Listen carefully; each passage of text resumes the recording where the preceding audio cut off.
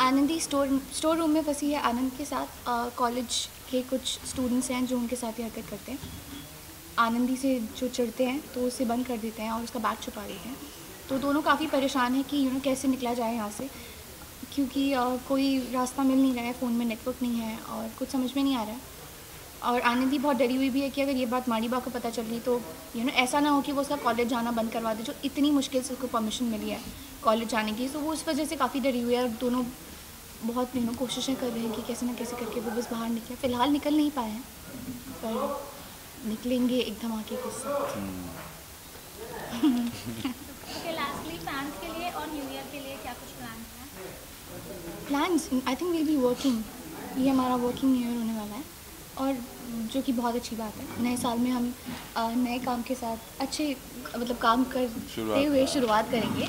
So we very happy और I think सबको एक साथ हैप्पी न्यू ईयर या why not please so on the count of 3 okay 1 2 3 happy new year हो गया लेकिन या so happy new year guys please be safe take care of yourself and and खुश रहिए। खुश रहिए हमारा शो देखते रहिए। और हेल्दी रहिए। बजे। हेल्दी रहिए 8:30 बजे प्लीज़ हाँ। Please